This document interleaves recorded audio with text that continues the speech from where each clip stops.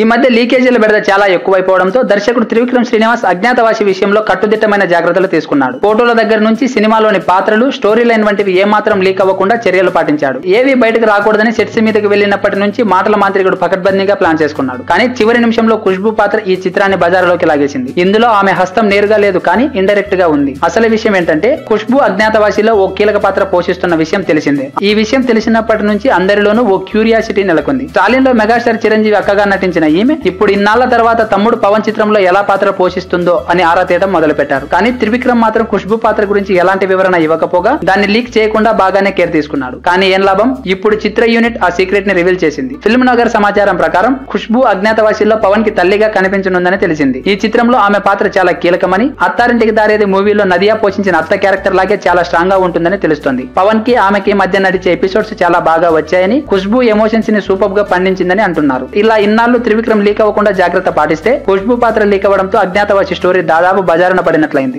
ఇలాంటి మరిన్ని వీడియోస్ కోసం మా ఛానల్ని సబ్స్క్రైబ్ చేయండి.